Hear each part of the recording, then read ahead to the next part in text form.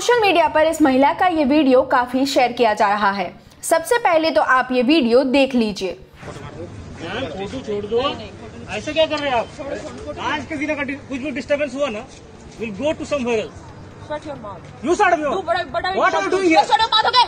What are you doing I'm not talking to you. Here बुला रहे हैं। किधर है बुला चल जिसको बुलाना बुला चल what what is your problem बुला के ला व्हाट इज़ योर प्रॉब्लम छोटी छोड़ दो मैम बाकी का कुछ भी बोलो। you do not What is understand. your problem? You do not have brains, you do not what? Brains you have brains you have अभी बताती हूँ. कुछ काम धाम नहीं चलेगा तो फ़ोटो छोड़ दो मैम मैम फ़ोटो छोड़ दो ना। फ़ोटो तो छोड़ो। अगर कुछ हो गया ना फ़ोटो छोड़ दो। इसको क्या हो गया?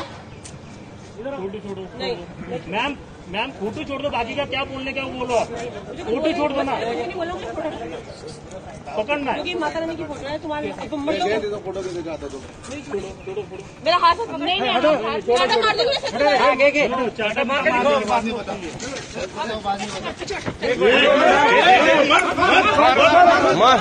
ये छोड़ो छोड़ो।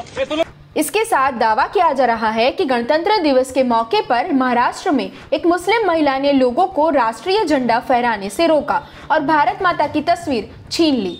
इसी दावे के साथ ये वीडियो फेसबुक और ट्विटर पर वायरल है।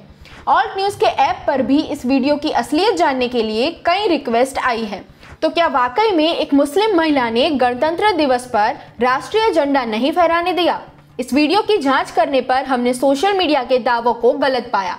नवभारत टाइम्स ने बताया कि ये घटना 26 जनवरी को महाराष्ट्र के थाने में हुई थी। इस मामले में स्थानीय लोगों ने महिला के खिलाफ कपूर बावड़ी थाने में शिकायत भी दर्ज कराई थी।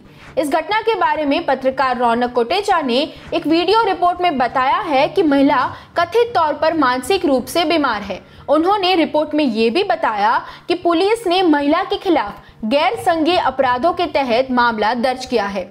थाने पुलिस ने भी ट्वीट करते हुए बताया कि महिला के खिलाफ एक एनसी दर्ज किया गया है। सोशल मीडिया पर शेयर किए गए इस वीडियो पर जवाब देते हुए एक व्यक्ति ने दावा किया कि वो इस महिला की ही हाउसिंग सोसाइटी में रहता है। उसने लिखा कि महिला का साइकोलॉजिकल ट्रीटमेंट चल रहा था। ऑल्ट न्यूज़ ने जब इस व्यक्ति से संपर्क किया तो उन्होंने अपना पोस्ट डिलीट कर दिया। कपूर बावड़ी पुलिस स्टेशन के एक वरिष्ठ निरीक्षक ने बताया कि ये महिला मुस्लिम नहीं बल्कि पंजाबी हिंदू है। उन्होंने आगे कहा कि वो महिला की मानसिक स्थिति के बारे में नहीं बता सकते, क्योंकि वो डॉक्टर नहीं है। लेकिन महिला का व्यवहार किसी मानसिक रूप से बीमार व्यक्ति की तरह ही था।